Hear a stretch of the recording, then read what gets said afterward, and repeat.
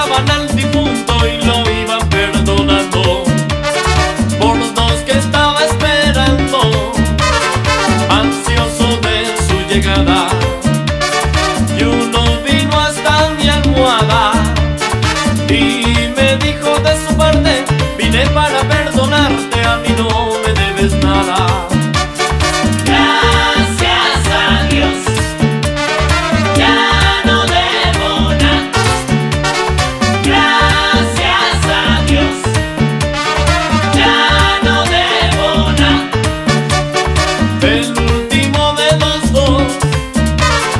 el más endurecido hasta que me